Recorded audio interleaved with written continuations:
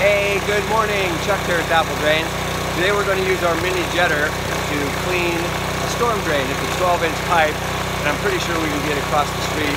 Let's give it a try. So we're running the jet down through there. It's going through, it's pulling itself, it's full of sand. So we just got to keep going back and forth.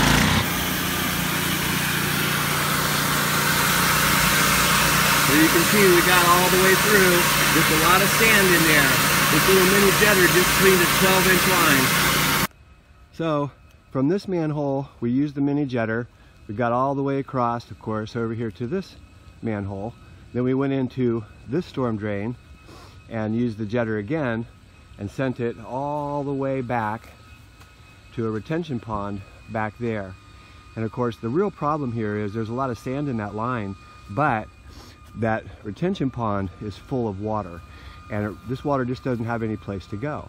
What's happening is because there's groundwater so high, if you look over here where I see that caution flag, I put that in there the other day, you see the erosion. This soil is actually getting sucked down through the bricks of this manhole and it's just pulling all the soil down into the area. So the real problem here is that groundwater is so high, their retention ponds can't handle any more water. You know, we have a lot of rain here in Florida. I mean, a lot. And this line, or the golf course is behind this house, if you remember some of the other videos. All of that area directly, you see the mound right there? Hard to see it, but there's a mound there. And that's full of water too. So much water draining down through here, so much. The mini jetter did a good job on this 12 inch pipe surprisingly. Um, I mean, it really cleaned it. But the problem is not so much that there's sand in the line, although there's a lot of sand in there, which we've got clean now. It's down in the bottom of the storm drains. Um, is if you watch as I walk over here to where this discharges, you'll start to see this, what looks like a pond. And it's actually just a retention area.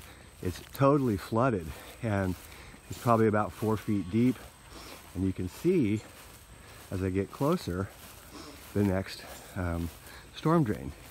And this is called an overflow storm drain. So it's a solid concrete square that goes down with pipes down in the bottom, but the water has to flood up and over to get into the drain. That keeps the sediment out of there.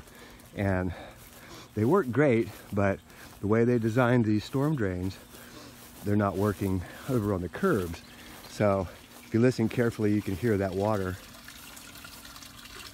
can you hear it as it overflows here and goes into the storm drain? So here at the discharge, this is a culvert. Just like you see a culvert going under your driveway, they're usually cut off about you know 15 to 35 degrees and it can accept water or discharge water. This is the discharge from that storm drain.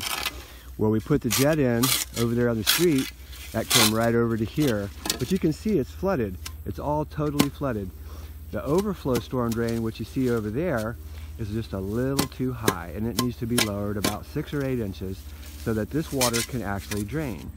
And then all that erosion that's taking place over there by the culvert and those two water meters would stop. So what we're gonna do is just go ahead and expose the culvert, you know, the concrete section of it hasn't been, you can see all the sod that hasn't been exposed for years and years, but we need to cut it off there, you know, on Chuck's side and we'll be done. So we went ahead and uncovered the culvert itself and you can see how big the culvert is supposed to be. And of course all the sod that had been growing over it for years.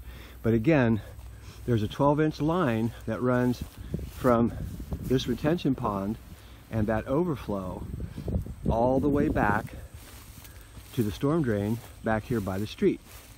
And no biggie. The problem here is that groundwater is so high and that overflow is just a little too high. We're going to leave an estimate to replace that or to cut it down to size. Um, still costly job no matter what. Hey, this is Chuck with Apple Drains reminding you that if you believe you can do something, I guarantee you can do it. Have a great day.